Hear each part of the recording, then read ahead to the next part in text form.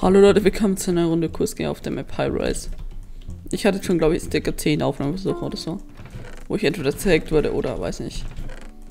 Entweder von irgendwelchen Randys getötet werde, so wie den da.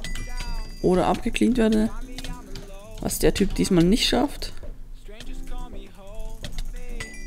Dann haben wir. Und Leute, was ich anzusprechen hätte, wäre, dass ich jetzt Platz 1 in Kurs gewinne. Wie wahrscheinlich ich schon ein paar mitbekommen haben von Twitter, aber ich das trotzdem noch in einem Video ansprechen wollte.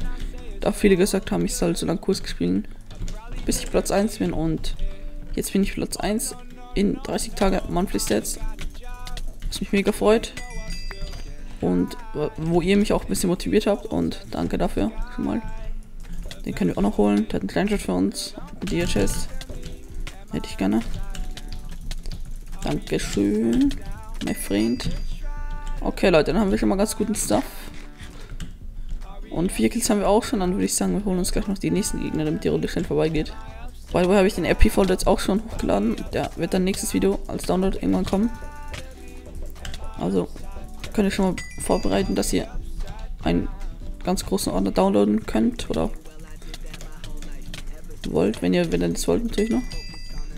Und den haben wir auch getötet. Leben noch zwei Spieler, wir haben sechs Kills, das ist schon mal eine ganz gute Runde. Okay, da ist der da. Und nice, den bekommen wir. Und GG, Leute. Wir haben über uns. What the fuck, wir haben. Ah, alles klar. Wir haben zweieinhalb, sechs Pfeile. Ja gut, habe ich gesagt.